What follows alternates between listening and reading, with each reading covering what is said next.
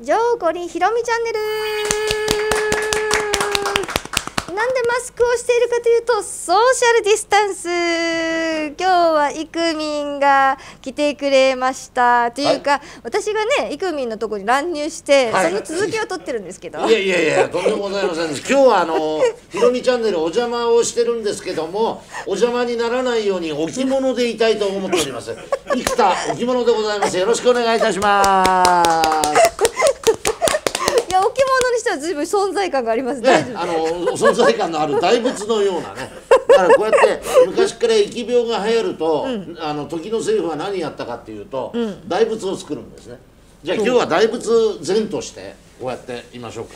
大仏っすか？大仏。大仏です、はい、大仏。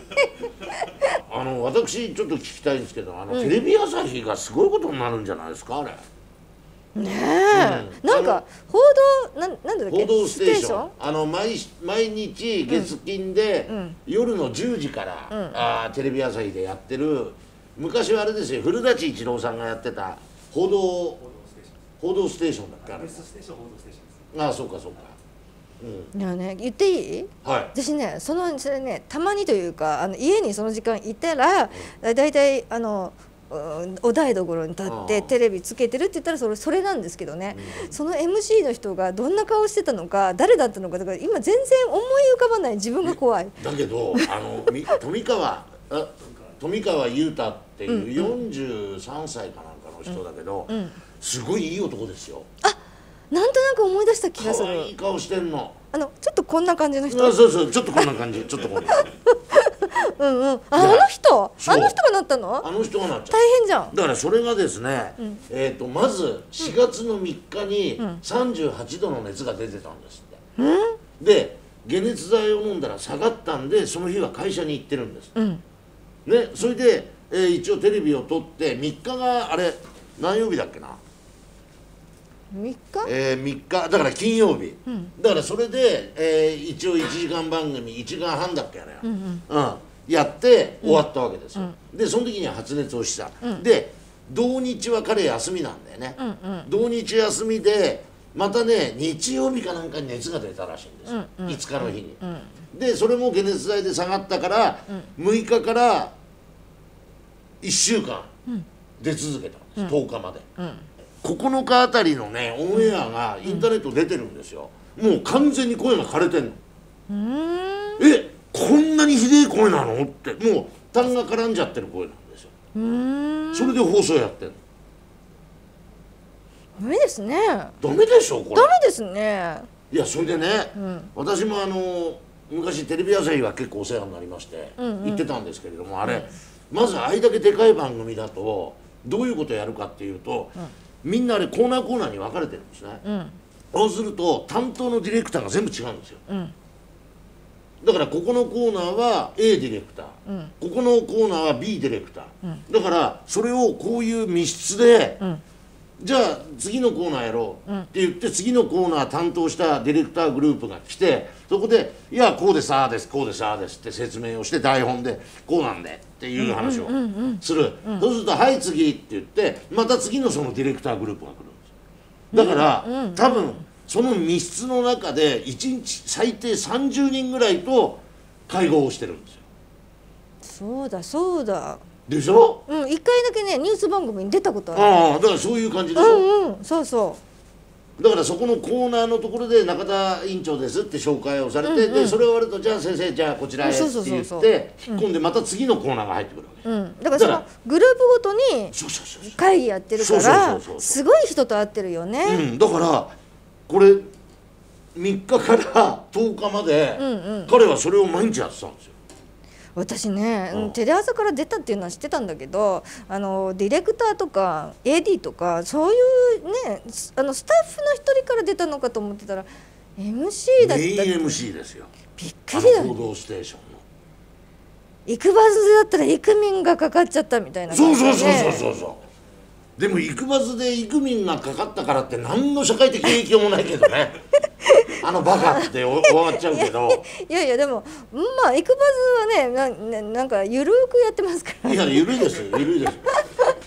あのねじゃあお言葉を返すようだけどね、中田ひろみチャンネルだってなかなか緩くやってるよ。ゆるよゆるいゆるい、うちめっちゃゆるくやってる。え違うイクバズってあのほらなんかそのコーナーコーナーがあるわけじゃないし、うん。まああってもななんかあのほら人数、ん。打ち合わせする人数って一緒だから、うんそうそうそう。そうだからそんなにあどんどんどんどんいろんな班の人といっぱい会ってみたいなネズミ山式に増えるとかっていうことはないですからね。いやだからそのテレビ朝日のあれだと、その1日30人ぐらい濃厚接触した人間がいて、そいつらがブワーッと散ってるんですよ。うん、だってよその会社から来てるもん。そうそうみんな制作会社じゃないですか、ね、そうそうそう。いやそれでね俺がね一番最初に思ったのはメイクさん、メイクさん。あれ必ずみんなメイクやるじゃないですか、それであれ番組の途中でもメイクさんが来てこうやって顔いじってやるんだよね、だから多分メイン MC だからそのメイクさんちゃんといるから。でそのメイクさんだって彼のメイクやったら次の人のメイクやるからね。手洗わないからそ、これやばくない？うん、やばい。そうなのよ。それ考えるだけでね俺すっごい怖くなっちゃってさ、だから多分ねあのここから近いほど近い、あの六本木ヒルズのあそこのテレビ朝日の社屋は、かなりやばい状態になってんじゃないかなと思うよ。それでかなんかテレ朝ごとロックダウンしろとかって言ってた人がいたけそうそうそうどそういうことね。いやだから本当下手すればいろんなとこに広がってたらだってそれで、あのー裕太君なんていうのはアナウンス室っていうところであと報道局でもあるわけでしょ、だからそういうところにも行っちゃってるわけですよ、で下手すりゃ食堂とかさ、いや俺えれえ怖えと思うよ。たまちゃんっていう元女子アナで今ね TBS かなんかのラジオで、あの番組やってる人がいるんですよそれの旦那さんが、あの報道ステーションのディレクターなんです。チーフディレクターそしたらうちの赤江赤江玉緒っていうの。でその人の旦那さんチーフディレクターで感染しましたから。まずくないですか？いやだからかなりまずいんじゃないかなと。だからチーフディレクター赤江さんの旦那さんが、だから感染したって言って、その人が自分の番組で「いやうちの夫も感染しました」っていうことを言ったらしい。だからチーフディレクターが感染してるってことはそこの下にいるディレクター連中とか AD とかもかなり危険な状態ですよね、うん。怖い。いやね。いやまあテレ朝もそうだけどエコタ病院もそうですよね。あエコタ病院もね、うんなんかね一気になんか92人うんうん。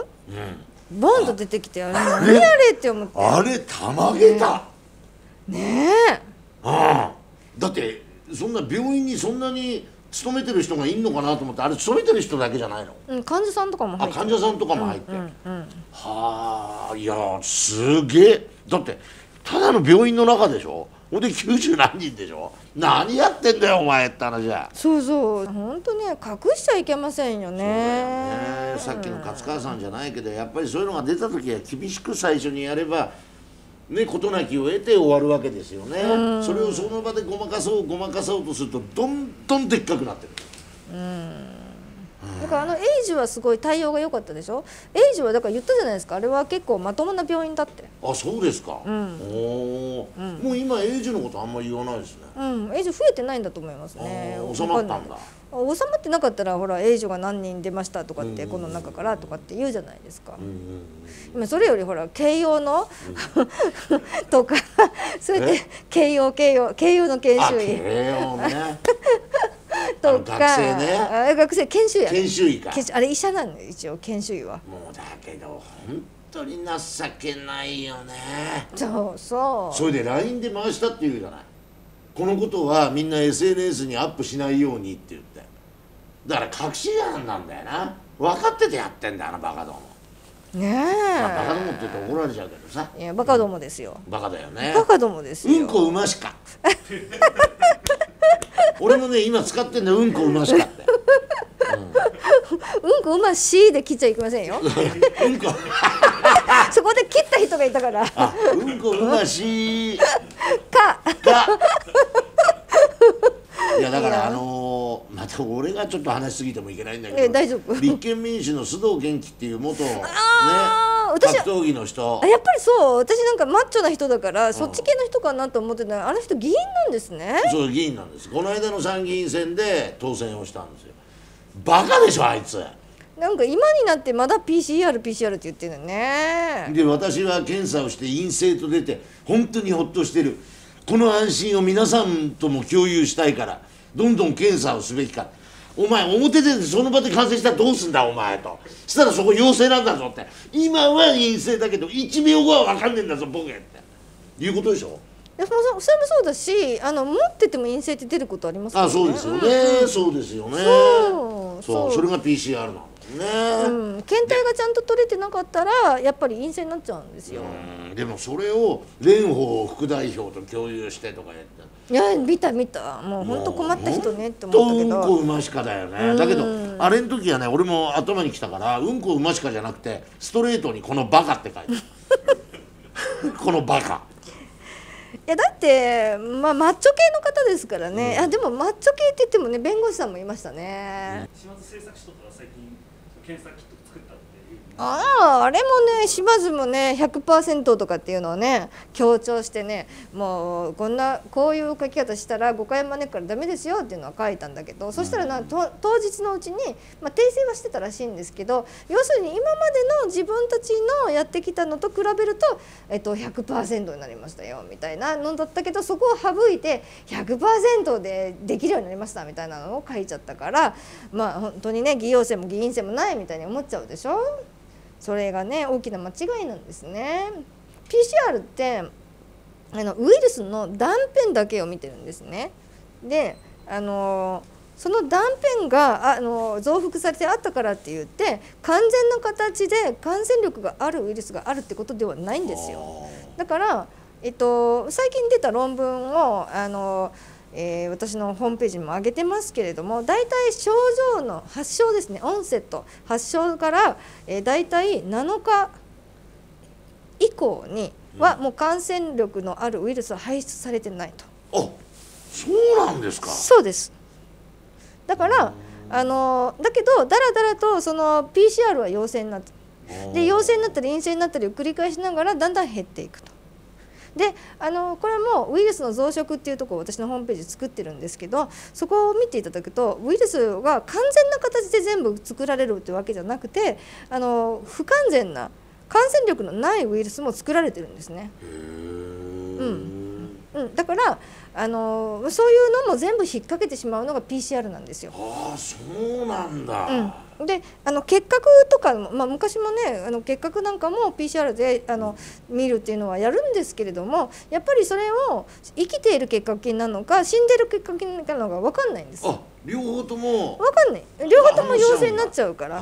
で神様とかそういう知識がないんですよ。ああなるほど。自分たちあのあの人ほらもともと血液の人だから、そういう知識ないんですよ。私たち血液呼吸器感染症って全部一緒になっててめちゃくちゃな影響だったからエイズの診療とかもありましたからね。